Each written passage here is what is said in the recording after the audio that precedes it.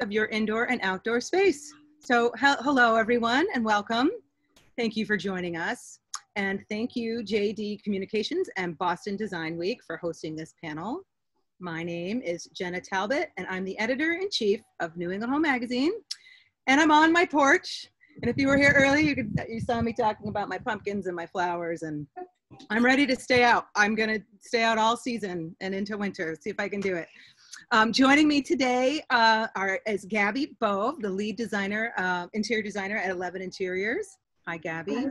Chris Brown, who's principal of B Architecture Studio. Hello. Sarah Lawson, owner of S&H Construction, and Greg Lombardi, founding principal of Gregory Lombardi Design. So we've we've had some nice chats leading up to this, and we I think we've got a really great uh, conversation um, in store for everybody today. And it's I just couldn't be a better all day. Happy October 1st. I mean, it's just gorgeous. Um, and so what, we're talking about is making the most of our indoor and outdoor spaces. Um, and just because the temps dip into the 50s at sundown doesn't mean we have to shut our doors or walls to the night air. As we ease from one glorious New England season to the next, many of us do feel real sadness as the days shorten, uh, and can, but can comfort ourselves with the prospect of welcoming friends, to gather around the dinner table, game room, or kitchen island. Well, this year, given the pandemic, there are true safety concerns um, regarding indoor gatherings. And with that, many of us are bracing for the prospect of increased isolation. But today, perhaps we can challenge all of our ideas about what's seasonally appropriate. Do we have to close up the porch or terrace or nana wall as we head into fall? Our expert panelists have contributed inspiring images of actual pre-pandemic New England spaces. And in sharing these, we hope to encourage you to perhaps reframe your mindset about getting or staying outdoors. And as my mom always says, there's no bad weather, only bad clothing. I think other people. and then the, the, other added bonus is there aren't as many bugs, though I did get hit by mosquitoes this afternoon. So anyway, so everyone who's here, um, if you'd like to ask any questions as we go, um, please feel free to uh, raise your virtual hand via the button at the bottom of the screen. Um, I think that's enabled. Otherwise, you can chat into the Q&A or chat into the chat panel. I mean, we'll just try and keep up with, with everything if, if you have lots to say. Um, we're gonna get started real quick. I just wanted to just share the basic format. We're gonna, we've divided these images into three parts. We're gonna start with the outdoor spaces, then we're going to move on to transitional spaces that are indoor and out. And then since it's just realistic to think that there will be storms and weather you don't want to go out and we're going to end with the indoors. So if we could have the first slide up. There it is. Okay, we're just going to get the full screen on. Okay. Um, hold on one second here. Okay. All right, we're starting with Gabby. So tell us a little bit about this outdoor living room with a yeah. Yeah, so we worked on this house. This was a new build house um, in South Dartmouth um, on the water. The client fell in love with the property and decided to build brand new. So we had the opportunity to blur the inside and the outside a lot with this house. Um, you can see some uh, Nana walls, which are sliding glass walls up over to your right. On the other side of that wall is the living room. And this they dubbed the outdoor living room. They really wanted an informal space to um, just hang out and especially at sunset, which you can see right here how gorgeous it is.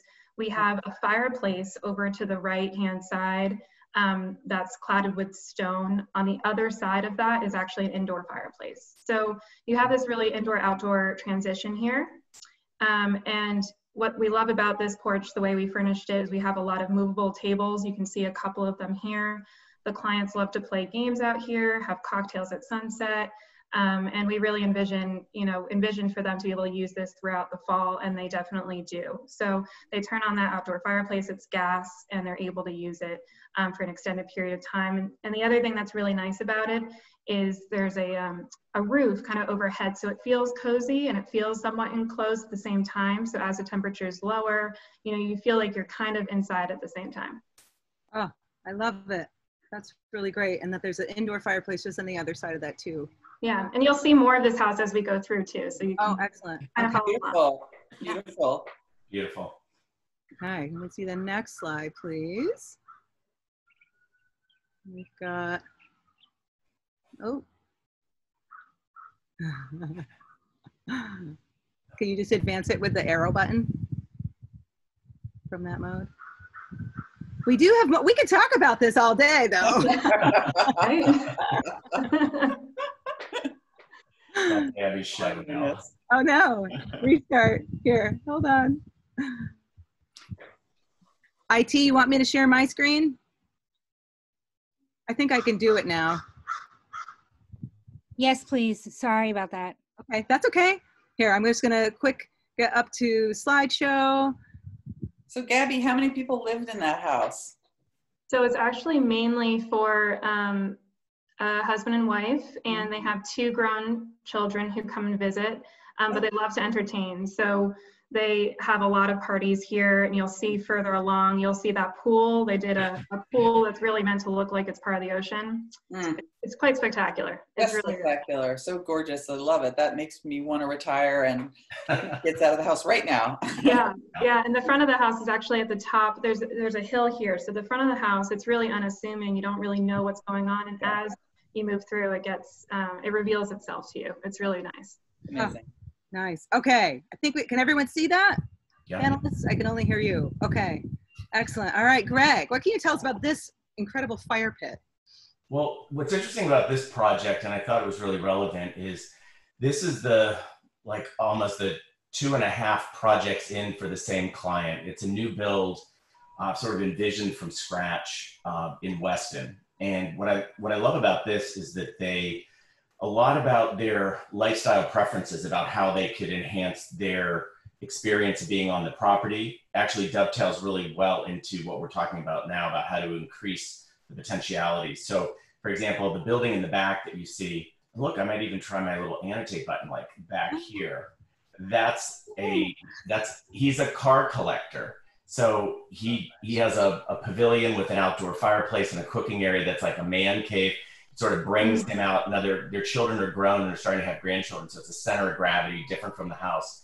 And there's even right here, there's a little tiny lap pool that's just meant to Ah. fit how they were living now to get them outside. They didn't want to commit to a big pool. So this was really tailored to how they see themselves living now and what the next chapter is. Um, and I won't say they're older because they're my age, but they're um, you know they're really engaged and they're really active with the family. And so the idea of having the fire pit much closer to the house, where it was just a sort of a communal space. This is this terrace is like right off the main cocktail terrace off the back of the great room. So it really is an integral part of getting people outside, and it gives you a different vantage of looking long into the landscape without being, you know, sort of expanding the the experiential centers of gravity, as I call it, like where you can move people around on a property. So it was a lot of fun to do. I love that. And I recognize now, um, we'll see that from the inside looking out from the, the spot in the, in the distance there. Right. Yeah, excellent. Okay. Oopsie. Now why can't I advance? There we go. Ooh, Chris, take it away. Okay. Uh, so, you know, this project started like any other, you know, pre pandemic. And then we've actually worked with these clients and our builders and our landscapers uh, all during. So it's been uh, actually uh, a really enjoyable ride, especially in the early parts of the uh, pandemic where we had this great project to sink into and, and really think about the design and um, get away from you know some of the realities we were all dealing with. So we were really fortunate for that and appreciative of it. And in the background here you can see just a massing study of their existing home and uh, it's a very quaint new england structure but it's cozy and as you're going to find with all of these projects that we're sharing is these spaces outdoors that we're all going to call rooms I mean, this really expands their living space quite a bit, not only seasonally, but just the square footage of having outdoor pergolas and basically uh, a real dining room. The house is more of a, you know, part family room with a table off of a little kitchen. Uh, here, they can actually gather the whole family as uh, this couple, uh, they are about to be empty nesters soon. And the whole premise for this was that they love to hang out with everyone and each other, and to have this pool space uh, was going to allow them and the kids really to come back. Uh, and then the incorporation of the pool house and these doors will slide open. So as we get into the season we're approaching now, you'll have a six foot opening and a screen and can still feel like you're outside and be able to look through the pergola and get the fire pit going. And when it gets even a little too chilly for that, they can go inside and watch the Patriots uh, on a screen and even work in a Murphy bed so that when the kids do come back, they can kind of crash there. So um, again, they're the pool's in. This will get completed this winter, and hopefully, knock on wood, uh, they'll be really enjoying this come springtime next year.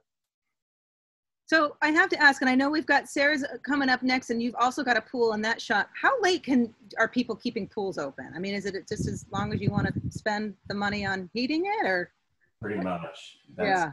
We're starting to see the extension of the shoulder season. Like I was just at a house yesterday, and they're keeping the pool open to the first week in November, which is, and they don't mind paying to heat it because but they're they have kids and they feel that they're trapped in the house, so they don't mind extending on either side. Whatever.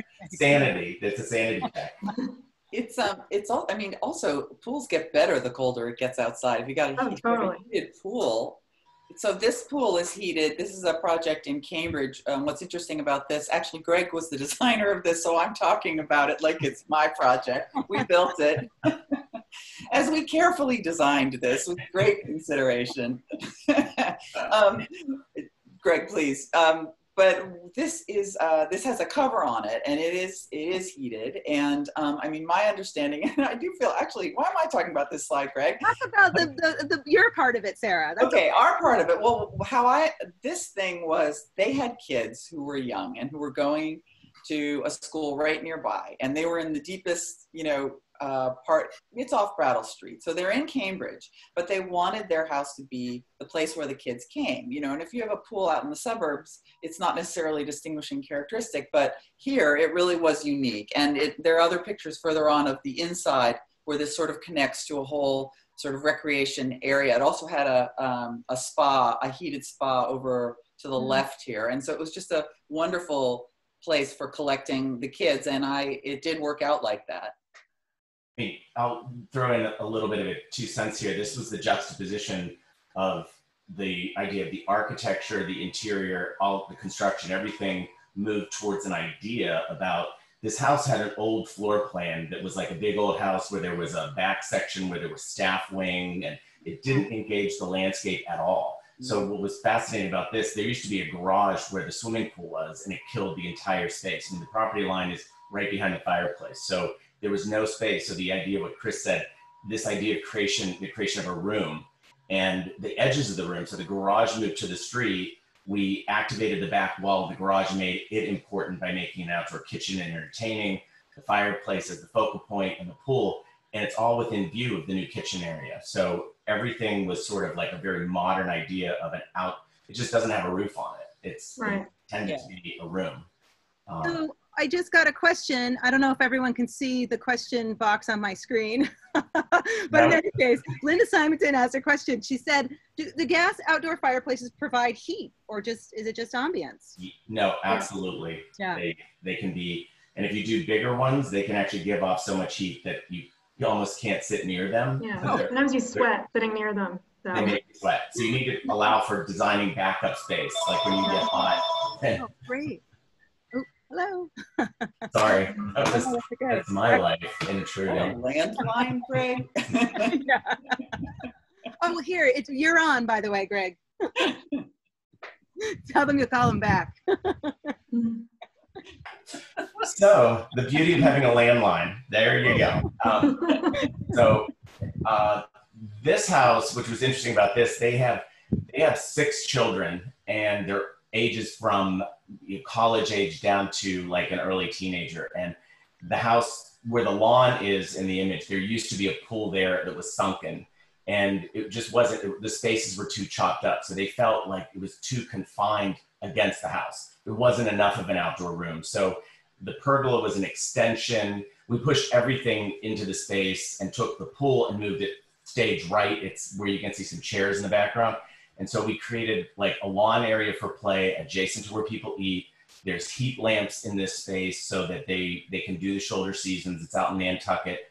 So it was a fairly new house, but it was um, again they retooled it to how they wanted to live in the house, which they understood they had these kids that needed a place to go without everyone being on top of each other in one spot.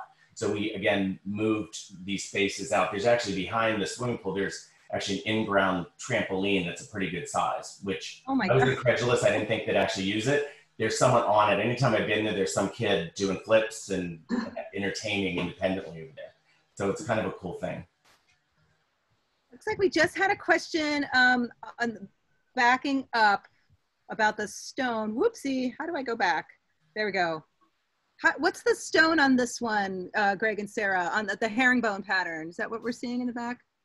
It's yeah, it's actually there's um, there's bluestone in the more organic irregular pattern, and there's bluestone in the herringbone pattern, and then the pool surround because it's a little bit more durable is a granite that has like a warm uh, sort of chocolatey tan color. So we were going with this I want to say more Victorian, you know, not being afraid of color, um, the greens and the reds and some of the saturation and not afraid of pattern. So we mixed it up and made it like a carpet in the room.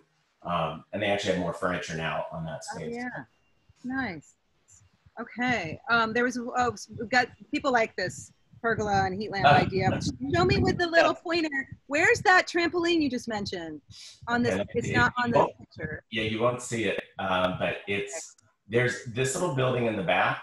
We made Uh-huh, it as like it's a the uh, She Shed Art Studio. So Fun. that's like a garden, and right in front of it is um, like there's a hanging chair, there's a garden, there's a craft area, and that's where the the trampoline is. So we sort of pushed it into an unused part of the property, like and made this other building. They really don't have a they have a garage, but it's used for more maintenance things. So they needed a space that felt outside, and rather than putting kids in the basement, um, it was the wife's idea. Like, why don't we make this other space? So we netted it into the the overall plan.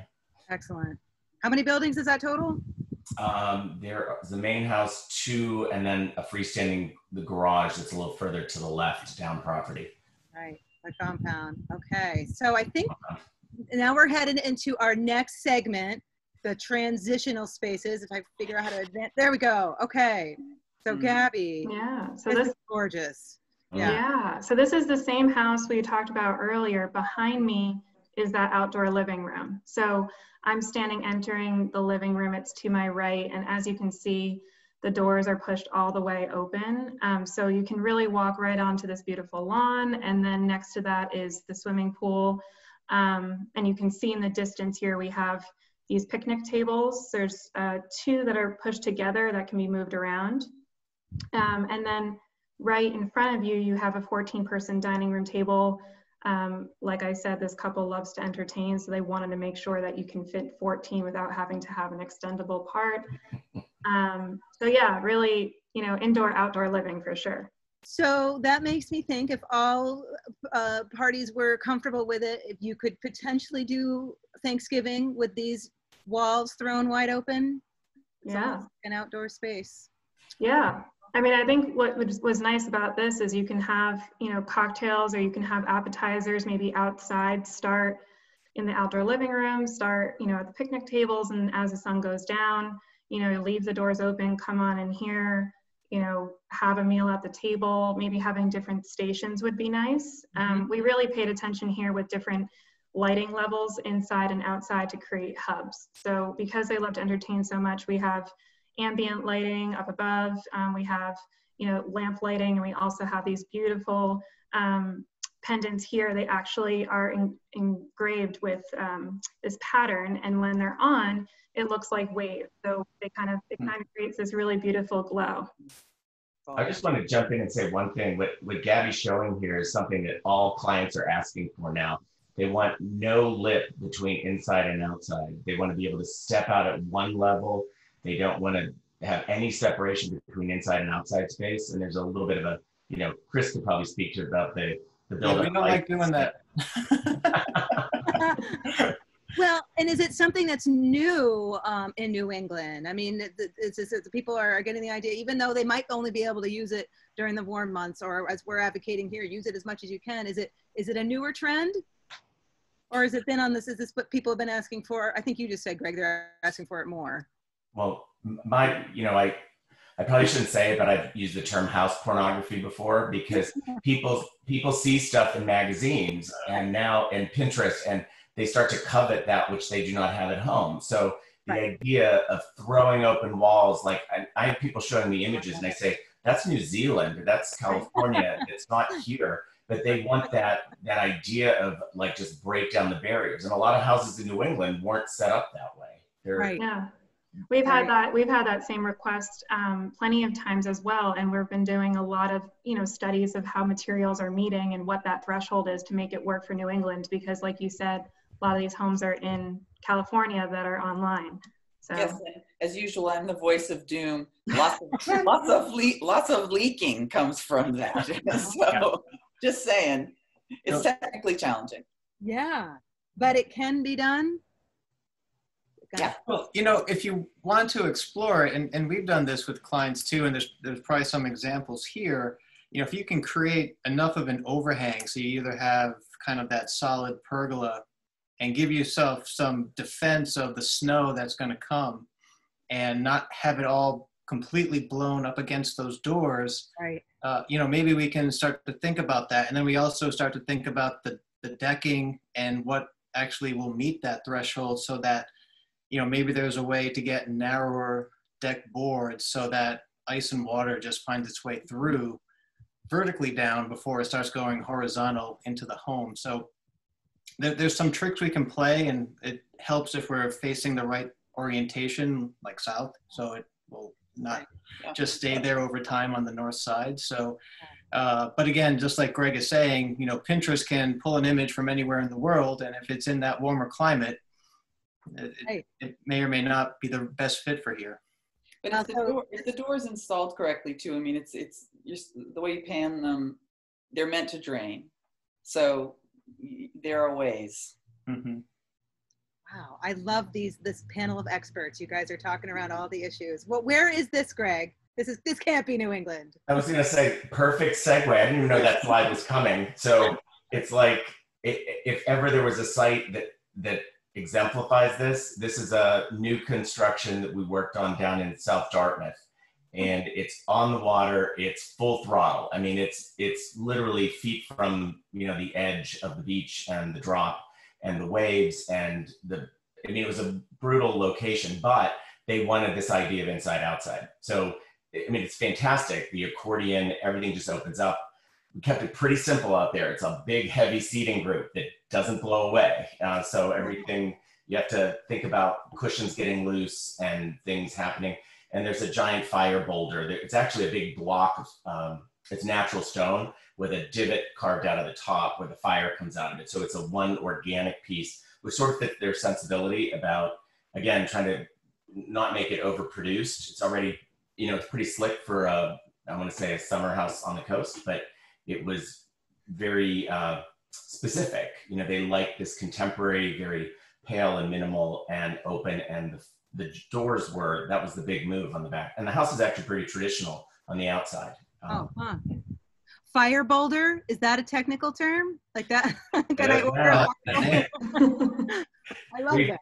we know we've we've done them where um, they're some of them are commercially available now, but they're uh, they're natural stones that are they're carved out, and then we size an emitter, and that can get into the size of the heating element. But uh, the house with a trampoline actually has a really long one that doubles as a table and a stool, and there's fire on one end of it.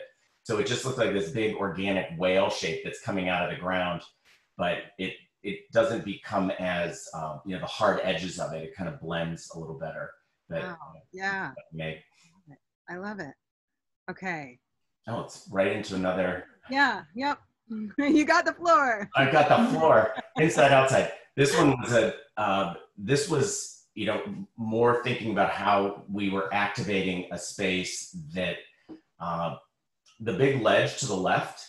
the house is up on top of the ledge, about 25 feet up there, and they had no room to put a swimming pool. And they had they have three children that are like college age down and super athletic. They're always doing something. So how do they want to annex this other part of the site that really wasn't usable? And this is something that's coming up now a lot with COVID. Is like people are looking really critically at their spaces and saying, "This doesn't work for me. What does this do? I, I have this space." So we thought this was kind of an interesting, you know, I proposed building the pool and sort of juxtaposing it against the ledge as an element. And then they, because it's so far from the house, it created another destination with the building.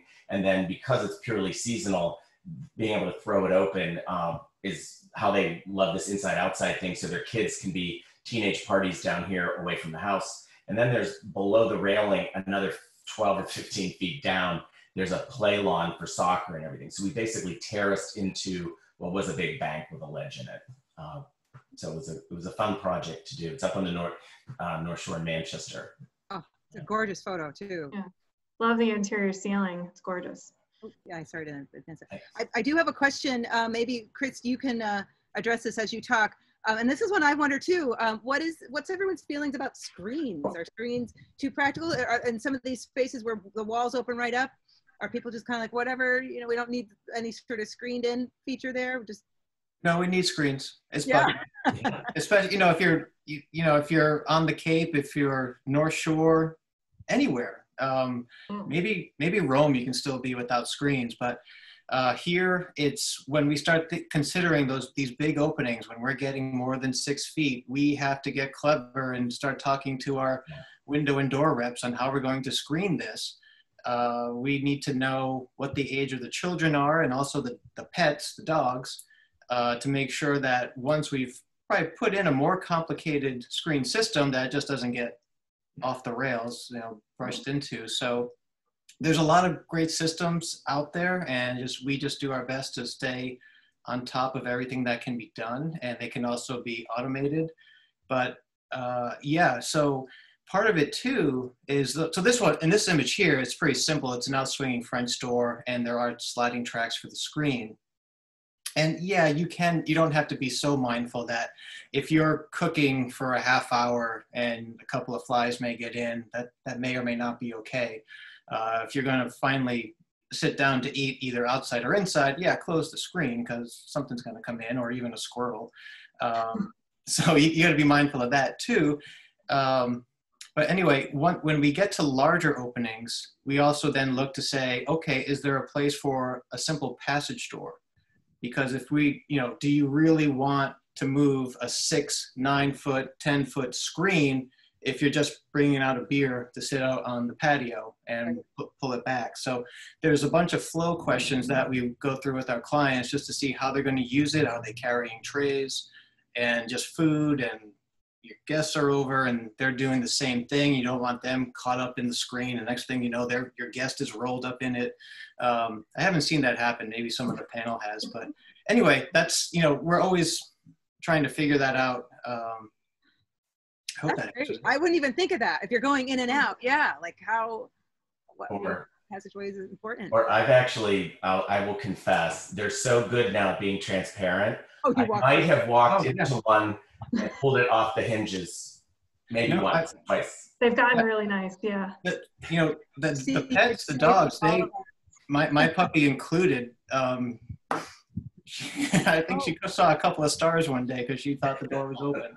Yeah. Oh my gosh. Oh. She's, she's fine. this, is, this the same project, Chris? Yes. No, yep. this is this is the same view. Yes, yes, yes. Yeah, and so you can see what we're talking about. That little pull there, that screen will come, and then the other one will come this way, and then you'll be good. Obviously, we're going to put those away when we want our pretty pictures. Well, here's a uh, great question that just came in that um, you could all address. How do you manage humidity in these spaces and the effect on like indoor stuff, furnishings? If the large doors are always open, or I guess even if you if it's a it's a beach house. So I, I think that the important thing is, is especially keeping in mind how often, you know, you really are going to keep these open. If you are, I think making sure, especially for fabrics, that, you know, indoor outdoor has gotten so much better these days in terms of offerings. Um, we see so many fabrics that are all indoor outdoor polypropylene. So I think that that's um, one big factor for furnishing specifically. Um, in terms of you know woods and other things like that, you want to make sure you're careful about you know using natural materials and if they're going to expand or contract. So I think it's just being really cognizant of what materials you're choosing inside, right around where all these doors are being opened. Um, I saw someone else. I saw another thing about energy loss of Yeah. AC or heat. Yeah. Or wood floors, that, that was a follow-up to that? Sarah, Yeah. do you have anything to? Well, I- I'll throw in something that I found in my personal experience with it. It's such a great idea to throw it open, but you know, in a summer house, especially if you've been running the air conditioning and all of your surfaces are cooler temperature and you hmm. throw this open for the party, the moisture, it's like the condensate on a glass. You will get moisture on the floor, on the finishes, on the counters, this layer of moisture until the house sort of recalibrates around that influx. It like attracts moisture from outside. And uh, it actually can be an inhibiting thing because people are less unless you're ready for it when you throw everything open and then all this damp air moves into the house and starts to condense on surfaces. So it's it's noticeable. It can be very depending on the day and the humidity can be noticeable I think my Yankee roots are showing, but I really feel like if a, for a summer house, I mean, we have a house in Plymouth that's on a dirt road kind of thing, and actually the way it handles the floor expansion and contraction is that it's there it's old enough they're wide boards but there's gaps between them right? They just where, where all the dirt from a million years is there. That's how you do it. That's my expansion joint it's the dirt from a hundred years. But um but just letting i mean i feel like this is a discussion i have with my husband all the time you know i love central air trust me but down there i like to Mm. just to the maximum degree possible let the outside in and even the flies i, I will let them in I, I go after them once i shut the door Yeah. But anyway, sorry, it's- they're You need the tennis racket. it's Yeah. Not that shark I see in the background, Sarah? Passive it's not really a design build opinion it's just Yeah. that's a part of the beauty of a summer house is that feeling those those summer breezes on You're outside at, and all, yeah, all possible. Well, uh, there's another great question from our, our friends over at Hickox Williams, um, and I, I think it applies here. Uh, so what, and maybe Chris, you could take it. Um, what are our feelings about outswing French doors versus inswing French doors? Yeah, it's a pretty uh, popular topic. Uh, if we have a design preference, we try to swing them in residentially. Uh, I think, and, and Sarah, you can probably speak to this just as well, if not better than, than I can. Uh, it just provides a little bit of a better seal. Uh, and I think the screens might work a little easier. Uh, with this image that we're seeing right here, and again, this balcony really having you feel like you are almost in the water, just hovering right above it uh, with these French doors because we still have folks that want that really charming door and they actually love the procession of opening them.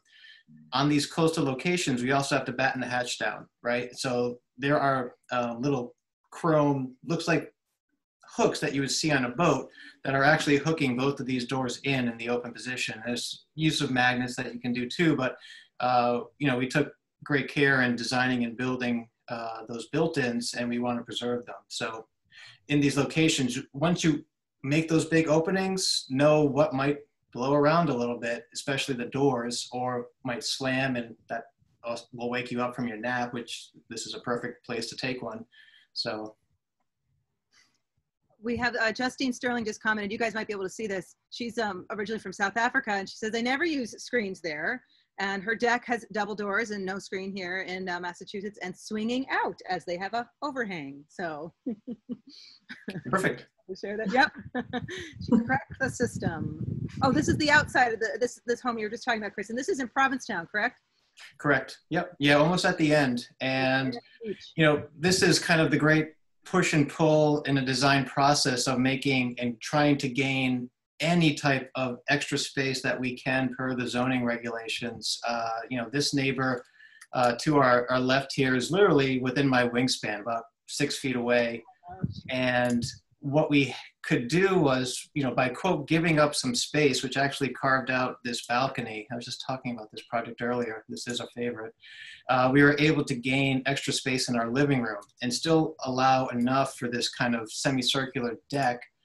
And it's this image is becoming places of like repose and circulation and flow and everything all of us are thinking about for, for any project. But when it becomes so condensed, it, it really, you know, one wrong move and now your dinner party is being interrupted by, you know, kids just trying to come and go or something. And so here, clients can get, our clients, the homeowners can get away. Uh, for them, they actually can get away twice. They have most of the front front half water side of the second floor, and then the the real party can happen here. And these amazing cooks, uh, these ladies can come in and out this way, and also friends and family can come from the living room here. So uh, really just trying to make every little piece of uh, the home fit the site here, uh, down to this little mini balcony here over in the dining room. So again, these French doors can open, they can swing in and stay open, and you can actually just get yourself that extra foot out to kind of feel mm -hmm. the breeze more and just feel like you're you really have that connection uh, to the beach and the water. Oh, that's so nice. So nice. Beautiful. All right. Oh, okay. So speaking of screens, I think these next two pages, Gabby, are yeah. porches. Yeah. Let's... Yeah. So this is actually the same house that we've been I've been talking about. So this is on the other side. So talk about maximizing the property. They wanted to have as many different seating areas as possible. Um, so this is really for their informal dinners that I think they almost, not all year round, but they really stretch it. They love sitting out here. You're protected to your point earlier like there's no bugs coming in. They have a grill. I think you can kind of actually behind that post here. I'm not as good with my drawing tool as chris is but it's behind this post um, that there's a grill so you can cook out here and it's actually adjacent to the kitchen. So behind where i'd be standing would be the kitchen. You can come right out. And what's nice about this like the warmth of the materials it feels really natural. It feels really cozy all year long. Um, it's not unnatural to stay here through um, late fall and be protected from the wind because there is quite a bit of wind that's coming off in South Dartmouth. So, um, you know, this is strategically placed so that you're not getting a ton of glare or a ton of wind, which is really nice. Does it get closed up in the winter in any way? Like how, how is this winterized? It, it does. So there are actually shutters that you can't see that do come down and they do um, close this up. And that's actually along the entirety of the house. Yeah. Okay. Great. Yeah. I don't know if the next one's the same project. Oh, this is a different project. This is, yeah, this, so this is in Concord. Um, so this is really, uh, this was a fun project. So this property is along, you can see a river in the back here. Um, so the clients own this whole property. They really wanted to expand their um, outdoor living. So to, but right behind me is the living room. And then right to the right of me is an outdoor patio and outdoor dining space. They use this space every day. Um, they read out here, and these pieces of furniture um, move around a lot. They move them around a lot. So they're actually a little bit, they're not super heavy. Um, the husband likes to read in this chair. It swivels and face the river. And they do have dinner parties out here. And I actually attended one when the project was finished. They decided to cook for us. So we stayed out here and they moved the table um, to the middle of this space and kind of moved things around so we could be out there.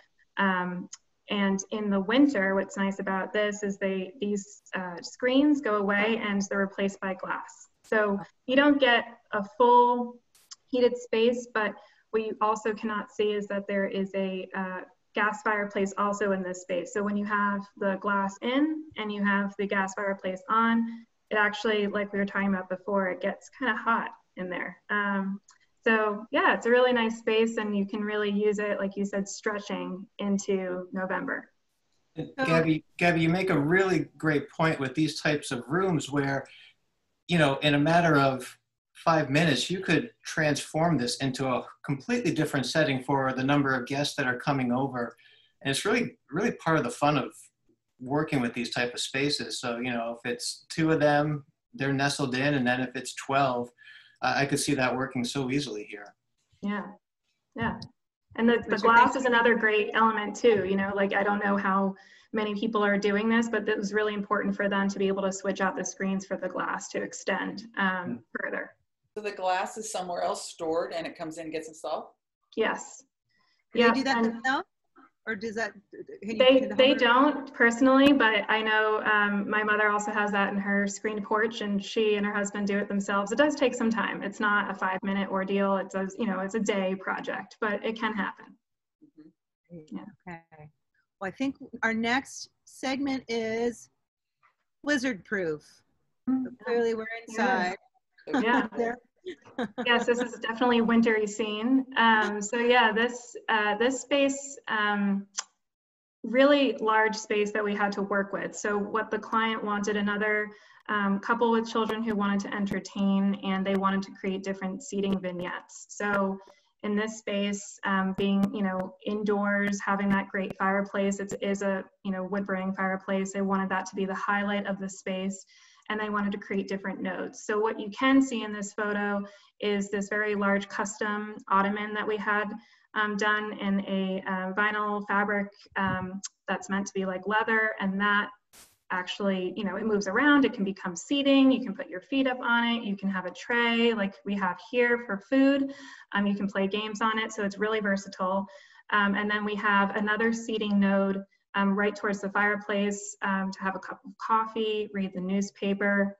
And then to the left of the fireplace, we created another seating node on the edge of the room with a built-in reading nook that faces out to sprawling lawn um, on this property. So they really took advantage of the large space. And you know what was nice about it is um, the ability to create different seating arrangements for whatever you might be doing on that day if you're you know stuck inside. Right, you can get away from each other, but still yeah. In the same room. Yeah, exactly. Great. Okay, this is also so you. I love this room. I remember this room. I remember this project. yeah, yeah. So this room what was you know meant to be a respite from the kids a little bit. Um, it's a master bedroom, but there's also a lounge space in here, and that was purposefully done so that the parents that they have um, two twin girls. Um, you know, they could have their own lounging space. So you can see that we built in this custom sofa into this nook here, um, really great light comes in. We have ottomans that can be moved around if they did want to put their feet up. And then right to the left of the bed that you can't see, they have their own fireplace and TV. So it becomes their media room, um, a place for them to, you know, work on their laptops and then also for them to sleep. So they, you know, really can do a lot without having to leave the bedroom, which is nice. Love it. All my clothes would be piled up on that. That's what it looks like before, and that's what it's going to look like after that shoot. Exactly. right. the laundry. right. No, they're really good. They keep it like this all the time. Uh, good. yeah. And then this space, uh, totally different from the last one. We actually, Sarah Lawson um, worked on this S+H built, um, I think, is this part of the addition? Um, so this, there was an interior renovation and they made this really easy for us because it's gorgeous and we furnished it um, for the kids. So this space, you know, why have the space for your kids all in the middle of the house? This is really their own respite. They have a little lounge area. Um, that back part that you see is actually quite large, um, so they can store all their toys and their books there. And you know, we have a bit of fun with this reading nook made out of a swing. Um, so you know, it's a room for the kids to just be. They have their play dates. They can have friends in this room, and kind of it be closed off from the rest of the house, um, which was important it's like a little house inside the house. Yeah. it's like a little exactly. And maybe it's a workspace now, but my daughter would love that chair. That's, such mm. just the swing. That's amazing. Yeah. Uh, it's really fun. Oh, okay. So this, I want to hear about this basement renovation. This is okay, a basement, so, right? So this project, this is in Belmont, and this project started, it was going to be just a first floor renovation.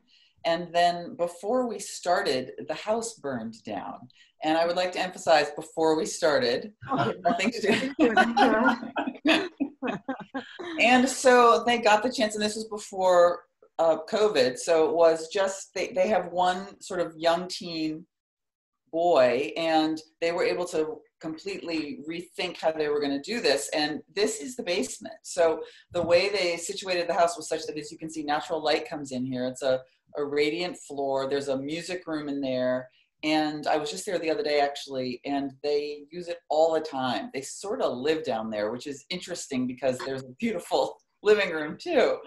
Um, but this is really, and I, I, think there's one coming too where we dug down. This one was, you know, we were pretty much starting from scratch. But people are really going, it just sounds worse than it is because wait to see the pictures. They're going into the basement. It's, there's mm. a huge amount of activity um, in basement that we're seeing.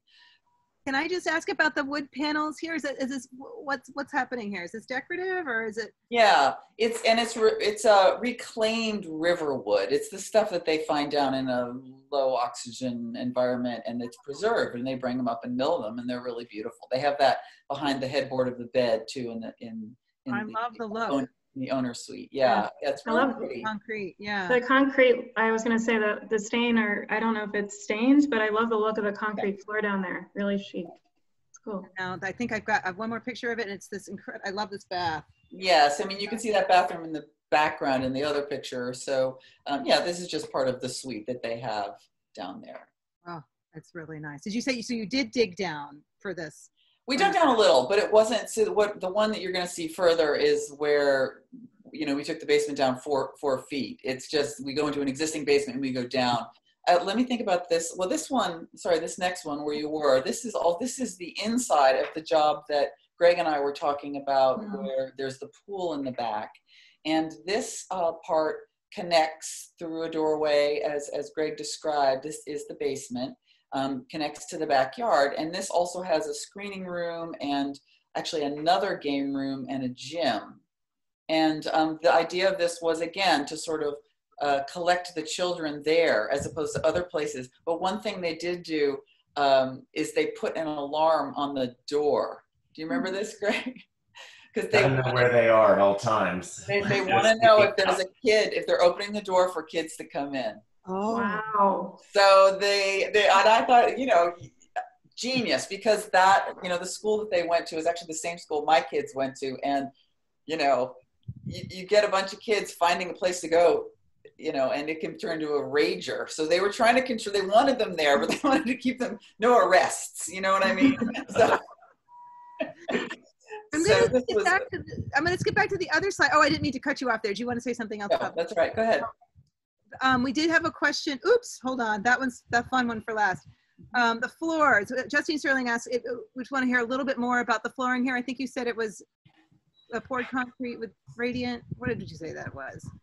It's poured concrete with radiant, and it is it's dye to make it those those colors. Yeah. Okay, all right. I hope that answered Justine's question. She'll let us know if, she wants to know more. And now I, I gotta skip ahead to um, this crazy, uh, this crazy space. Yes. So this is a house in Cambridge that um, where we didn't expand the footprint of the house. It was already a reasonably sized house, but the the customers were from Iceland, and they actually brought their own architect from Iceland.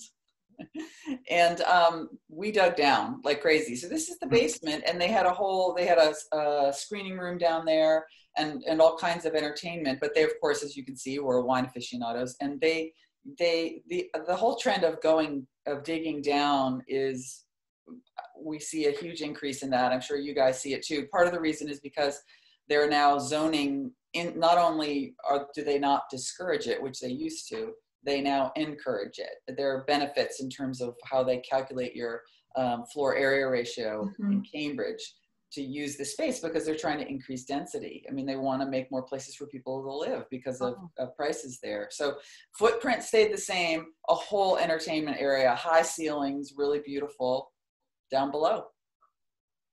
Great. And I think I, it's, a, I don't know if it's the same project that I have. Is this the same or is this a different project? This is, That's the same project. okay. I think, That's the same project. That's outside. It's as though we're standing outside the wine room now. I mean, y- you know, Oh. this is a this is on the extreme end well, I of think what we built in Cambridge. it's a viewing room, a wine viewing room. Yeah. Wow. And Sarah, I'm jumping in. Like I know this house. Sarah, this house isn't modern on the outside, right? No, not modern on the outside. You come, you I come know. in. Would love to see what the, like upstairs looks like, this is still in the basement, this room? Yes, and actually, Wow. stone, that they cleared out the quarries of, of some part of the country for this because there's stone everywhere, and it was it's uh, upstairs too. And I think that and glass. A lot of the partitions are are like the rail system. I shouldn't call it a rail system because it's it's all glass. Um, and so I think it just was a sense. sensibility. You know, they weren't married to the Cambridge sensibility, architectural sensibility. They just had their own thing, but the outside kept you know the same footprint, and the back is all stone too You outside. Never know. Yeah. Love it. Hmm. Ah, Well, this is great. So uh, this is the, the last of our slides, I believe, but we do have a, a great question. Oops, I want to go back because that's a fun slide to just end on. Or we could stop sharing. But in any case, um, we have a question. Oh, before I ask it, that one, Vani wants to know Hmm. how sound is managed with all these hard surfaces. I think that's a great question. There's sound deadening panels, or are they just People from Iceland are soft spoken. I'm sorry that there there isn't there isn't there are not sound panels there if I remember correctly. I don't think so. Well, the ceilings no, it's not. It's not sound No. panels. Huh, It's funny because that space isn't that big, and so it's it's there are partitions, and I don't remember it being loud, which of course makes no sense. But that's that's my memory of it, and there wasn't any particular technology around the sound. Huh. Interesting? Embrace embrace the echo. Um, so let's see. There's a someone's using the hand raising uh, feature. I'm not sure how to answer it, but we have another question for the group. If anyone has any ideas about renovating an attic space, we've talked about basements. Anyone think Yeah, about? we, we do it all the time. Yeah. Um, so they, you know, when you create what I would assume be your, your third floor, right? It's always the question of, well, who's going up all those flights of stairs? Is it the kids or is it the, the parents? And it's kind of, it's probably a little more than 50 50, but it does give them just a quick moment of pause of, do you throw the kids up there or do you want to get away a little bit more and have a bit more privacy? So, um, just like these basements, we just have to be mindful of what the zoning parameters are and how much we can build. Uh, we, we do quite a bit in, in Milton, and they have a pretty intense formula for how much you can do up there. But uh, typically, we've been uh, able to find a good amount of space to create master suites or create spaces that are for the kids and have a common playroom, uh, ensuite bathrooms. Uh, but I can also be bad news when I first approach people because attic floors aren't meant to be lived on. So structurally, we need to uh, resupport them. And then uh, roof loads uh, basically become completely different because we need to structurally uh, enforce the, the main ridge of the house so that we can create dormers and then transition those loads uh, down to the rest of the building. So um, it provides a great deal of square footage and additional room for families to grow, but uh, they're fun projects, but we, we like the challenge of them. Huh. That's I wouldn't even think of that. The floor itself. Yeah. Okay. Yeah, u- usually attic floors are maybe that tall if you're lucky. Um, Yeah. Ok- Okay, so so uh, we have Laura who would like to ask a question. I think Laura, you can just speak and we'll hear you. Is that going to work? I don't know. I've never seen this work before. Oh, I uh, Nicole, we're not hearing anything. Is there anything I need to do? She's chatting me. Um, she could. no. Oh, she- oh, she needs to unmute. Manage your mute. Manage your mute. we'll give her a second here. Um, guys, that was fantastic. Um, and we do have just a few more minutes. If anyone else wants to ask us any questions, um, you can chat it. You can um, try um, raising your hand after we figure out, um, Laura, our guinea pig, how to do it. Um, I think we answered a bunch as they came through, and it looks like you guys were watching the chat as well. yeah. Um, I'm inspired. I love it. I, I for me, uh, my my space, my living space expands hugely during the summer months, and it's always really hard to go back inside. Mhm. Um, so, oh, did I hear something? I don't think she's there. oh, we're sorry, Laura. Well, does anyone have any last comments they want to make about? Oh, oh, I have it. We have a little bonus round. We're supposed Yeah. to share our um our new um I don't have my notes, so I can't remember what I called it. Pandemic uh, rituals. yeah. What's Yeah. something your pandemic summer? Sarah, we'll start with you. Well, I, I actually there was a great question, and what I thought of is that um, my husband and I got one of those. So as as actually we just did this a couple of weeks ago. We got one of those solo um, outdoor stoves, which is a stainless steel double walled stove that has a system for um, recombusting the smoke, so it's less smoky. Okay, this thing's about two feet Mhm. across. And um, we got it and to, so we could be outside on the on the deck at our house in Plymouth later. And what I noticed about that is that we normally on a Friday night or something, we'll sit down and we'll have hors d'oeuvres and a cocktail together and we'll hang out and chat. But then we'll sort of we'll go he'll go read, I'll go watch a movie, and we'll sort of disappear from each other. Well, what happened was, even though we're, it's cold and we're stuck outside and it's starting to be winter, we sat out there by the fire and talked for a couple hours. Like it was actually the positive side of this negative was a whole new sort of way of communicating and place to be together. So the sunny side of being, you know, of, Yeah. of winter outside. solo stove going that for I mean the rest of the season into winter, right? I, I'm planning on doing it all winter because as you, as I agree with your mother because it's it's all in the boots, so, those big snow boots. Love it. Yep. No bad weather, just bad clothing. All right, uh, Chris, how about you? Sure. So, uh, you know, we're, these are all these uh, silver linings, right, to the, what we're Mhm. going through. And so, you know, my wife and I, we were able to remotely and spend a bunch of time at our, uh, our home in Vermont. And we had crafted out this small kind of little patio area that always worked well for cocktails and, you know, greeting our friends, you know, typical summer evenings, fall evenings. Uh, and then we needed a bit more space and to be able to see like you know we kept in touch with you know there's a few of us so we could invite them over and be outside and try to have dinner and so we were trying to see what we need to do with this really tiny backyard and we're in an association so we don't have full control but we could gain it uh, so we took a folding table and uh, tablecloths and everything else and uh, julie got a ton of candles and we just started moving the table around the backyard to see where we wanted to for next spring expand to. And so we kind of had this like little movable not a movable feast but a little movable dinner party of four uh, during the summer um, and it was kind of fun and it was kind of like you know once we set it all up it was like oh, this looks great. And now it gives us a little bit more of an idea of the outdoor furniture we want to try to get for there as well. So it's like these little temporary things that we're doing out of necessity uh, will lead to something, you know, a bit more fun even for next year. You'll be making a more informed decision because you've Mhm. tried it out. I love that. Right. Yeah, it's even better than marking it out in blue tape. It was like, you know, Yeah, it's you're gonna be actually here. sitting it. and seeing how the light changes too. I mean, I think that's so so key, um, as because it gets very dramatic at the end of this year. All right, Gabby, what about you? So my husband and I, we love to go out to restaurants. That was our big thing. We would love to try new places in Boston. And losing that, we, you know, we were rid of our Friday night date night. So um, a coworker of mine actually mentioned that she had done a virtual cocktail class with her husband.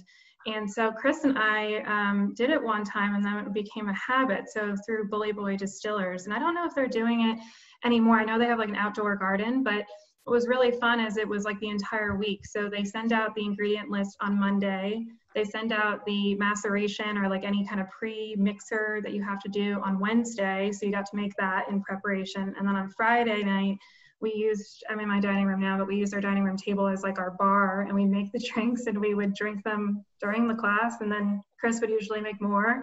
Um, but it was like a really, it was like a really fun ritual that was, you know, like our date night because we couldn't go out. And, and now we kind of like, you know, Chris is really a great bartender. I am not, I don't pretend to be, but it's a fun thing to make drinks at home and make it like a fun thing that we do. So Oh, I love it, and there's a, some great build up too. If it starts on Monday, and you- it was like a whole activity. It felt, it felt exciting because, you know, Yeah. there wasn't a lot to be excited about. So it was good. Yeah, I love that. I love that.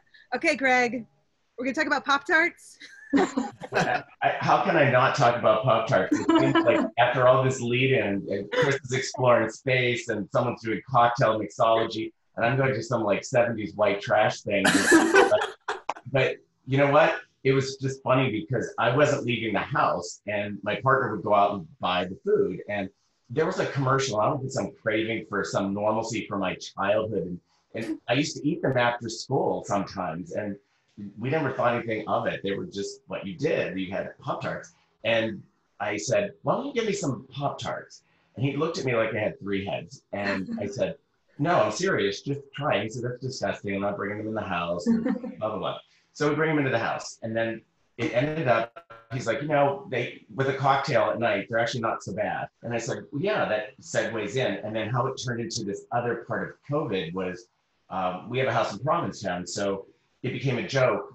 We have the Pop Tarts, and we would invite people to our fire pit in the backyard because we can socially distance and say, why don't you come over and we'll have Pop Tarts. And at first it was like shock and horror. And now we have to buy them in a big box size because people want, they come over for cocktails, socially distanced, and Pop Tarts. So what kind of cocktail do you serve with Pop Tarts? yeah. But if you go back, I, I'll quote my sister who used to say when she was in college, it was a vodka shot with a Pop Tart chaser.